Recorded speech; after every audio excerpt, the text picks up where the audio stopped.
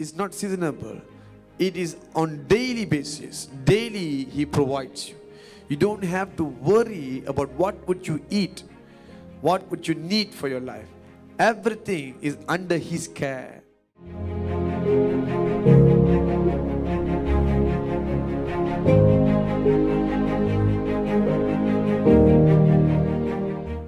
In Psalms 23, we can see that he says that he provides me, my shepherd provides me. You see, he says that he shall not be in want. See, when we often speak to ourselves, oh, I need this, I need that, this is still lacking, that is still lacking, why my house don't have this aircon, my house don't have these uh, sets, I, I don't have these things yet. This is our constant daily today. But David, he put himself as the sheep because he himself as a shepherd. David was a shepherd. Okay? He put himself as sheep. He says that my sheep does not have to be in one because I provide everything for them. I provide everything before they could ask me, before they could cry out to me, I already provide everything. If I myself such a good shepherd to my sheep, how much more would be my God? And that's what David is trying to picture in this place where he's saying that I shall not be in want, for he makes me lie in the green pastures. He did not say makes me eat the green pasture. Lie down means they can rest, eat as much as they want. The shepherd provide. The shepherd provide what is the need of the sheep. Sheep obviously can never whites out their needs. There's no sheep the flock will come and say, Shepherd, shepherd, I'm hungry. Feed me with something. The sheep can never do that. But the shepherd, he himself know what is the need of the sheep. So this is where you should understand something. In the book of Matthew, chapter 6, 7 to 8, Jesus said that we don't have to pray a lengthy prayer saying, Lord, I have this need, that need, I get for me this, get for me that. Because God said that before you ever open your mouth and ask your request, God already knew your needs. Some of you might ask me, Pastor, then what are you trying to tell me? Because just few years, few weeks ago, you said that we have to pray for our needs. Now, shall we not pray for our needs? Now, there are two category of people, Christians here, where one, they will never pray at all. They will never seek God for anything. They will only seek the help of man. For them, the Holy Spirit is telling, rather than you not praying, why not go pray for your needs? Of course, God said, God didn't say, don't ask for your need. You can ask, but more than that, God is expecting something else. For those who used to pray, who used to walk with God daily, they don't have to concern about their needs because God already know their needs. You might desire something. It could be a life partner, it could be a house, it could be a car, whatever it could be. It is not going to happen on your time. It's not going to happen on your time. God will surely provide, but on His time.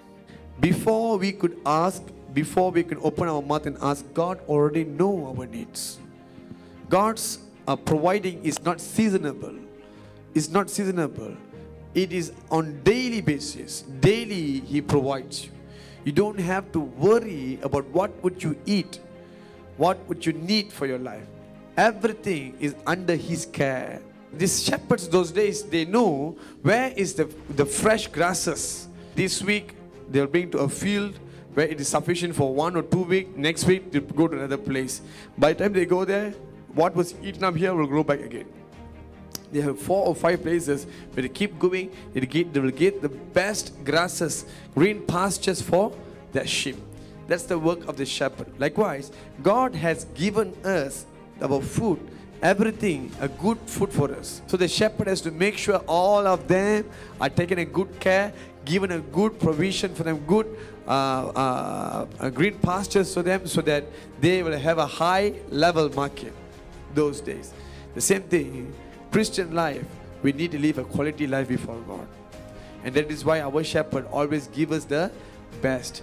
Have you seen the Bible, the shepherd, he will go to the well, they draw out the water, they will give drink to the sheep. They never bring them to the river because if these sheep go to the river, while drinking the water, they might fall into that river and will be carried out by this water. That's why either they will go to a still water, which is like a lake, does not move, is not deep. It will go to that place. Even it fall down, they can immediately catch and put it up. But a river does not wait for you. It will keep on pushing everything that falls in. That's why He keeps us at the still water. Even the drink that God gives us, also He concerns that it will not sweep us over. Some people said, Pastor, drinking is so God is providing. Why not I take some wine? Why not I take some alcohol? God choose the kind of drink that you should drink. He choose the kind of drink that you should drink. Hallelujah. He provides you food, the best food. He provides you the best drinks so that you can live long on the land that God has given you. So your shepherd knows. That's why in the book of Matthew 6 25 to 34, the Lord commands us not to worry about our food, our clothes, or our future. He knows what we need. The only thing is never be greedy for anything. Never be greedy, for God will never sustain those who are greedy. If you see in the book of Exodus 16, when the Lord rained out the manna upon the people, He told them, Take only what is sufficient for daily. They are so greedy, go took it for the next day. They all spoiled. But when they go to the sixth day, on the seventh day they should rest. Whatever they stock up on the for seventh day on the sixth day itself does not spoil.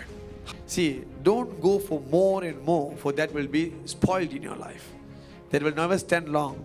Just said, Lord, give me what is sufficient. Because nothing is permanent on this earth.